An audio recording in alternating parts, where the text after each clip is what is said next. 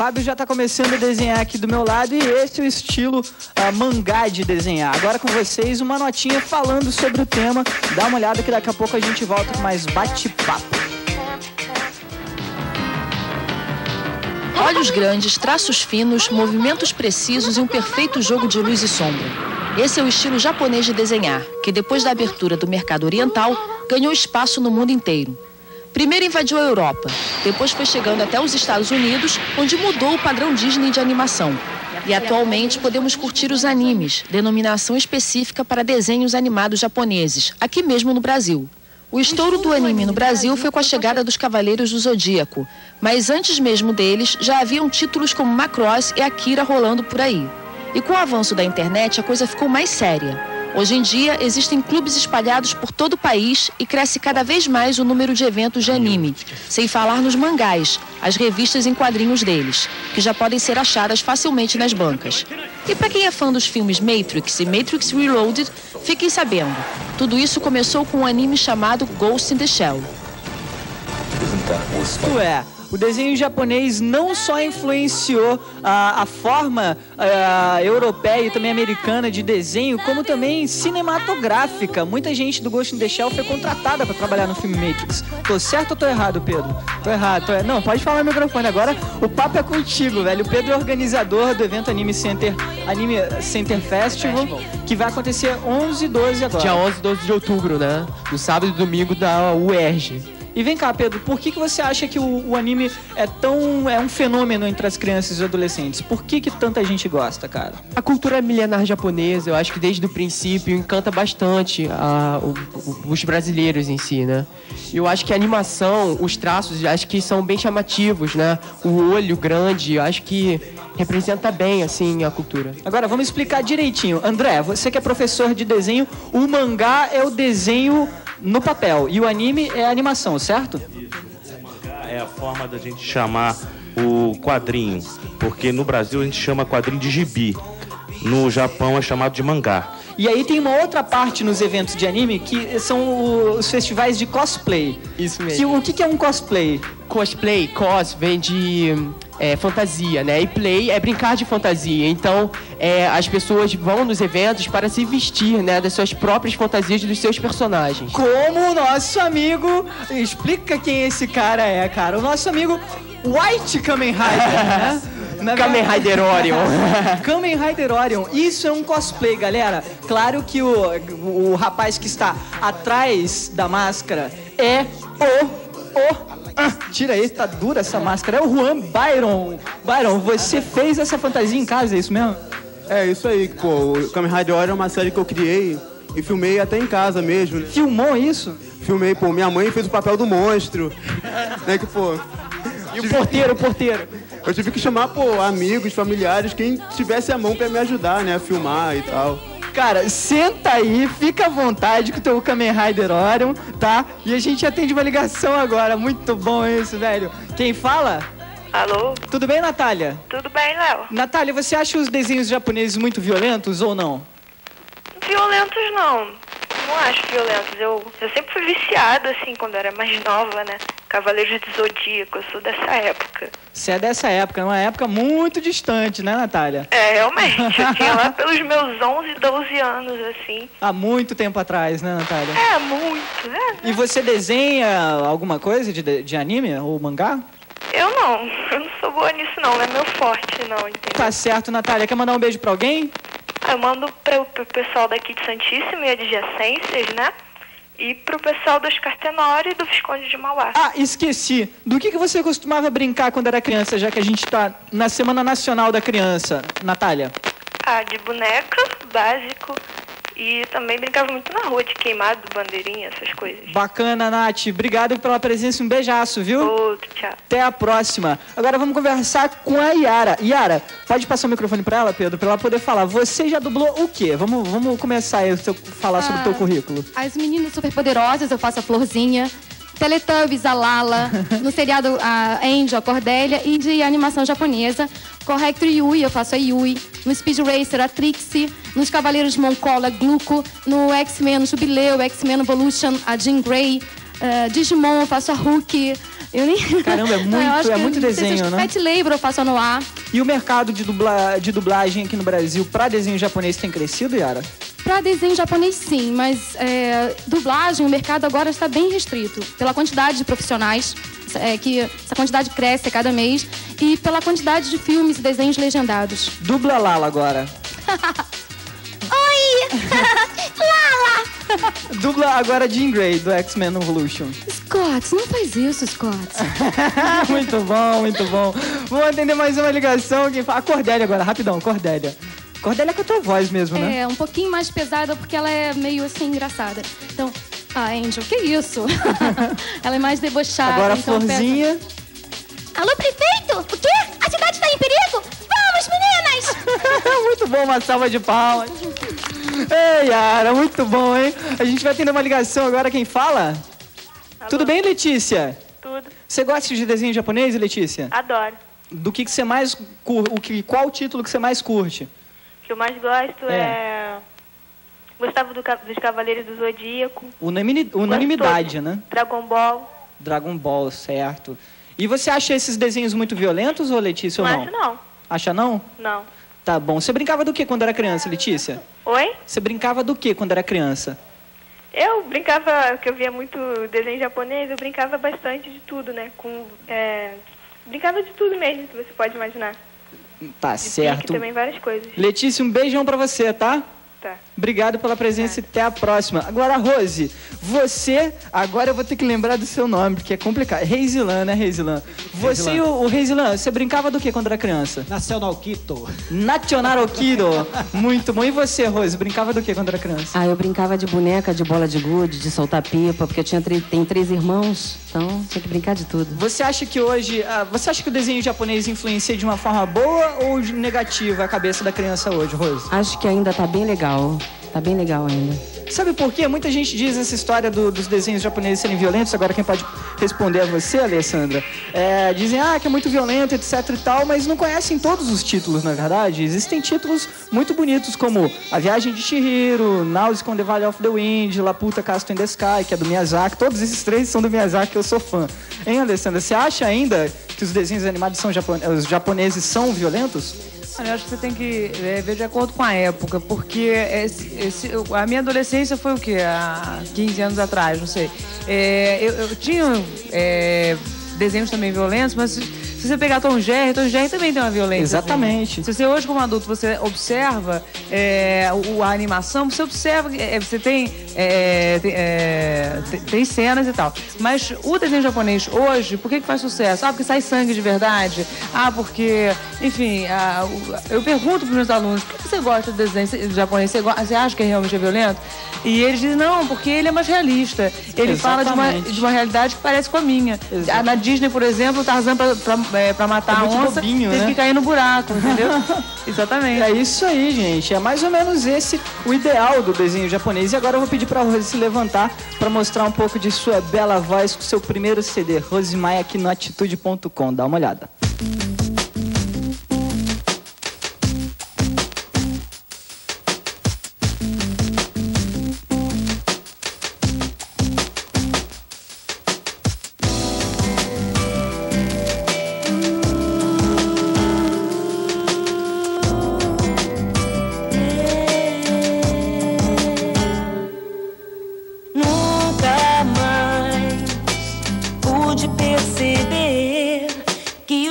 são reais pra quem sabe viver.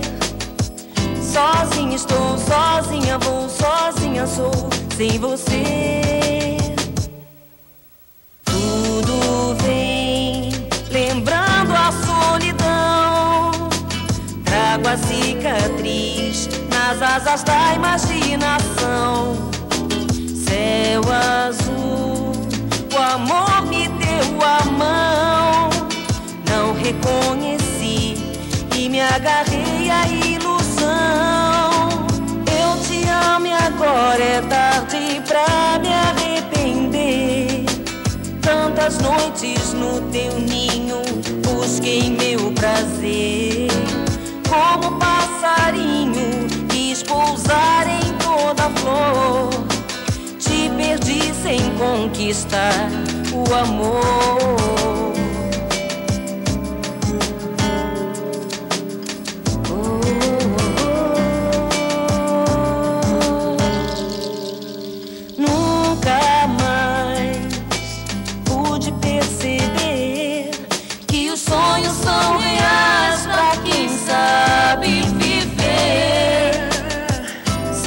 Estou, sozinha vou, sozinha sou, sem você. Tudo vem lembrando a solidão. Trago a cicatriz nas asas da imaginação. Céu azul, o amor me deu a mão. Não reconheci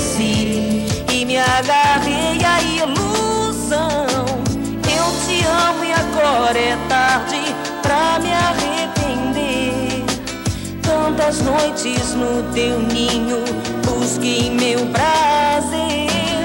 Como passarinho quis pousar em toda flor. Te perdi sem conquistar o amor.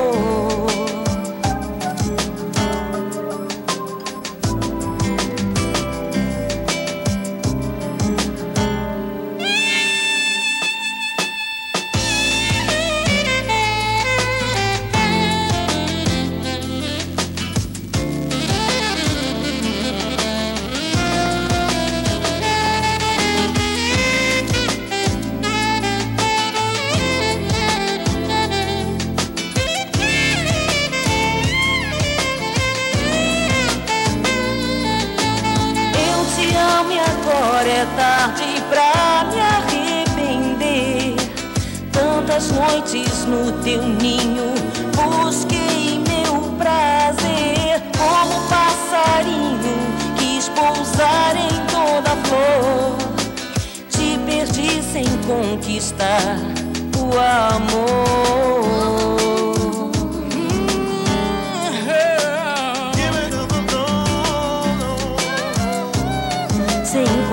Conquistar.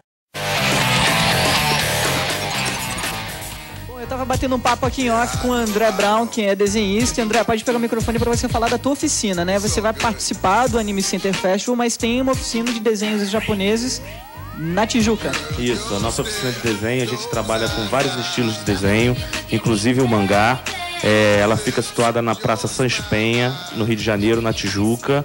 E o endereço é número 55, sala 302. Então lá nós temos vários alunos desenvolvendo trabalhos muito legais. Bacana. Fábio, pode parar de fazer esse, assina aqui pro Pedro Paulo e faz um pra mim depois, cara. Que tá muito bom o negócio. Aí, Pepe, quero 10 reais de comissão aqui, hein? com vocês, a Cortiça Eletrônica com as principais notícias do dia. Dá uma olhada.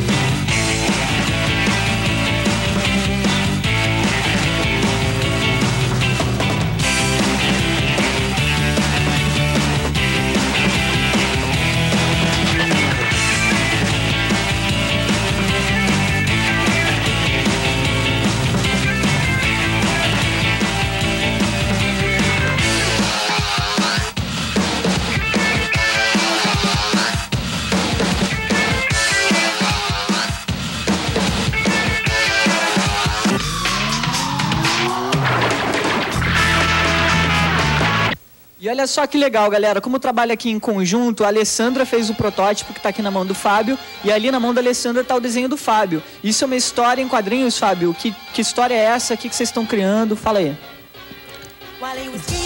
Bom, boa noite, meu nome é Fábio. Eu sou aluno de, de desenho do professor do. Eu sou aluno do professor de Abral, desenho de mangá. Eu não sou exatamente um especialista em mangá, mas estou aprendendo assim aos pouquinhos. Ah, tá aprendendo? Tá bom, Fábio. Continua aprendendo que você vai longe. Olha, a gente vai atender uma japonesinha muito gente boa, minha amiga Dani Suzuki, Daniela Suzuki. Tudo bem, Daniele?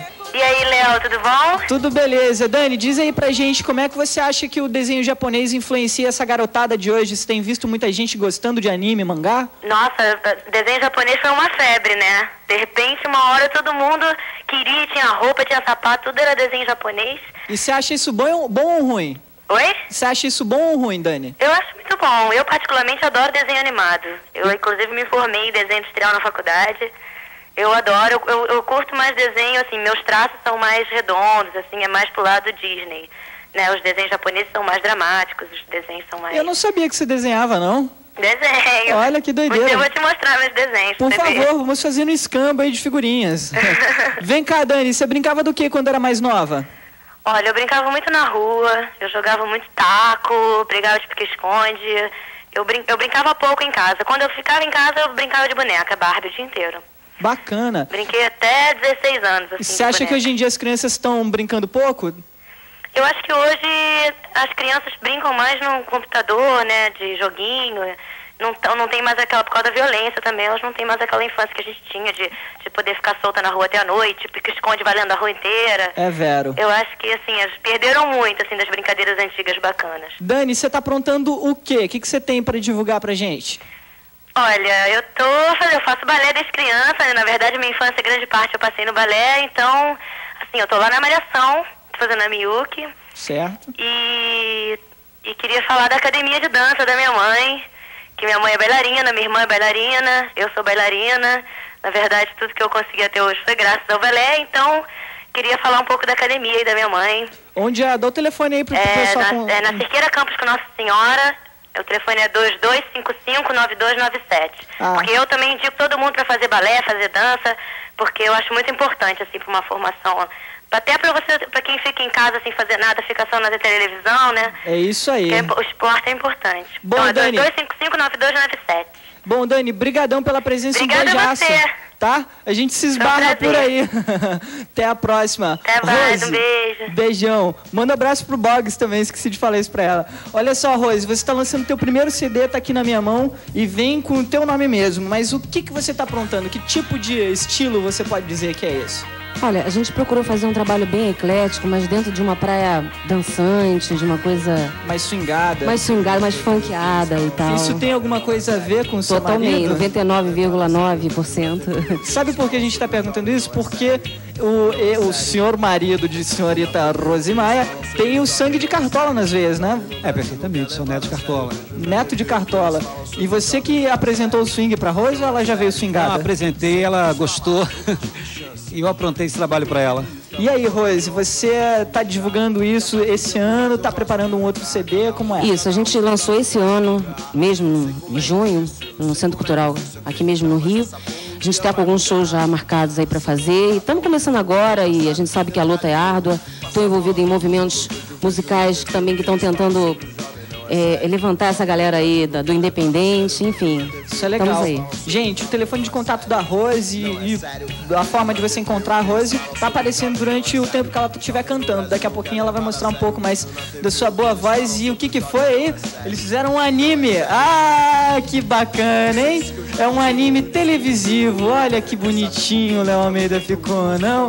Vocês não têm mais nada que fazer da vida né? Grande abraço, obrigado. Agora vamos finalizar aqui o programa justamente com o único que ainda não falou, que foi o Juan. Juan, você, além de produzir fantasias, também é organizador do evento. Deu muito trabalho?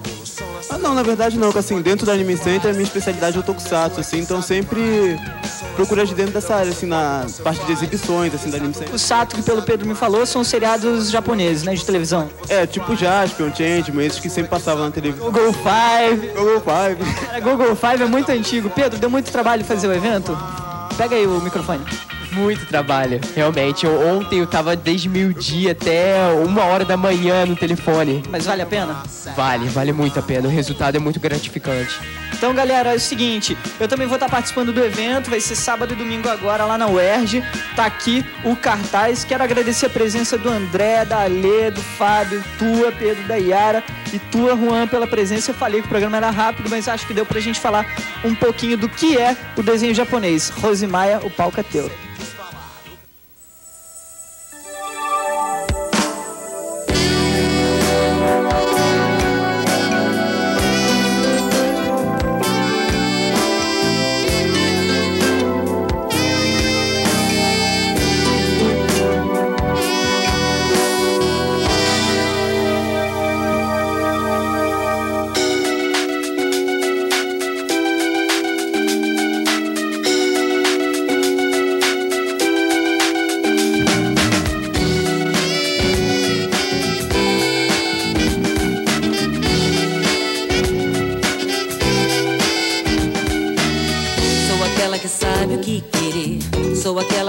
Faz acontecer. Só não sei o que fazer com esse amor. Meu desejo, um furacão cresceu. Destrói, devasta tudo que é seu. E esse medo de chegar um temporal. Toda noite tudo pode acontecer. Os gatos brancos ficam partos sem querer. Tenho vontade de sair.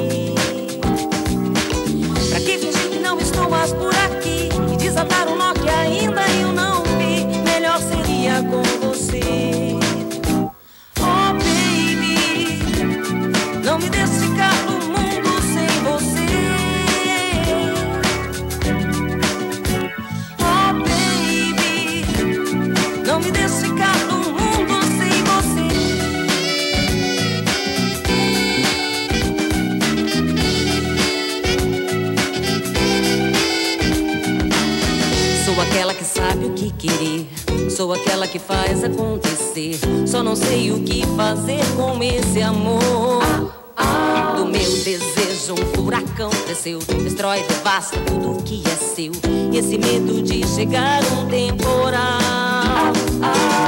Toda noite tudo pode acontecer. Os gatos brancos ficam partos sem querer. Tenho vontade de sair.